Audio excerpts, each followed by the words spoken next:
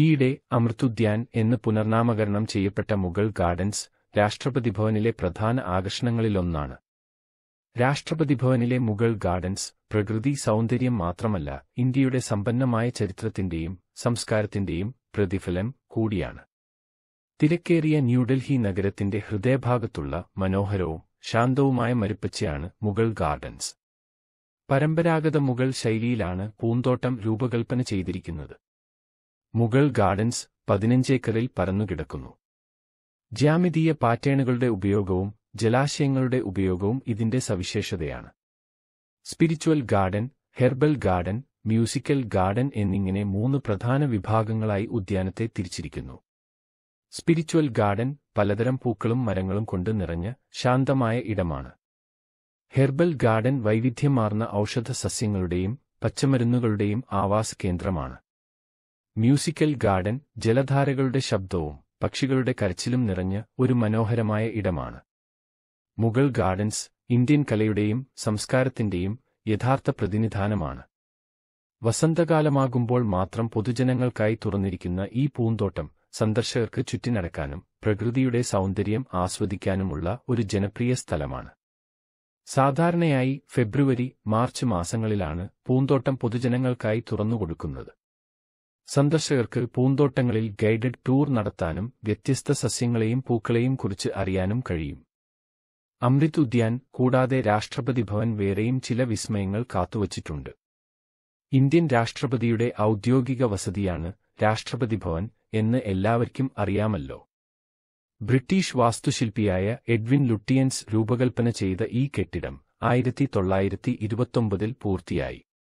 ചുവന്ന മണൽക്കല്ലിൽ നിർമ്മിച്ച ഈ കെട്ടിടം ഇന്ത്യൻ ബ്രിട്ടീഷ് വാസ്തുവിദ്യാ ഘടകങ്ങൾ ഇടകലർന്ന് ഗംഭീരമായ ശൈലിയിലാണ് രൂപകൽപ്പന ചെയ്തിരിക്കുന്നത്.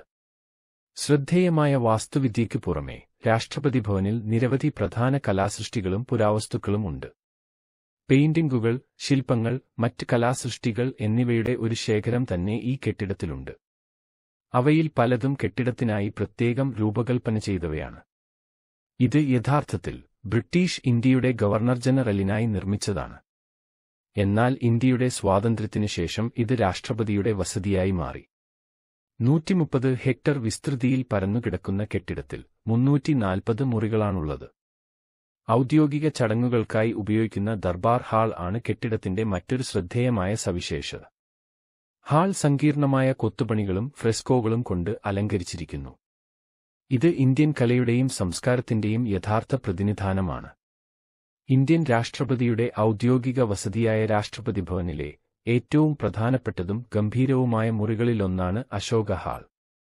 പ്രധാന കെട്ടിടത്തിന്റെ ഒന്നാം നിലയിൽ സ്ഥിതി ചെയ്യുന്ന ഈ ഹാൾ പ്രശസ്ത ഇന്ത്യൻ ചക്രവർത്തിയായ അശോകന്റെ പേരിലാണ് അറിയപ്പെടുന്നത്. രാഷ്ട്രപതി ഭവനിലെ രാഷ്ട്രപതിയുടെ ഓഫീസ് പ്രധാന കെട്ടിടത്തിന്റെ ഒന്നാം നിലയിലാണ്. ഈ ഹാളുകളിൽ ഇരുന്നൂറ് പേർക്ക് ഇരിക്കാൻ കഴിയും. ഇന്ത്യൻ രാഷ്ട്രപതിയുടെ സത്യപ്രതിജ്ഞാ ചടങ്ങ് സന്ദർശിക്കുന്ന വിശിഷ്ട വ്യക്തികൾക്കുള്ള വിരുന്ന് തുടങ്ങിയ ഔദ്യോഗിക ചടങ്ങുകൾക്കും അശോക ഹാൾ ഉപയോഗിക്കുന്നു.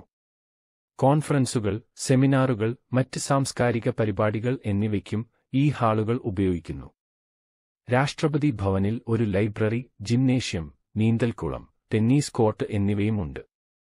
ഇന്ത്യയുടെ മുൻ രാഷ്ട്രപതിമാരുടെ ജീവിതവും നേട്ടങ്ങളും പ്രദർശിപ്പിക്കുന്ന ഒരു മ്യൂസിയവും ഈ കെട്ടിടത്തിലുണ്ട്.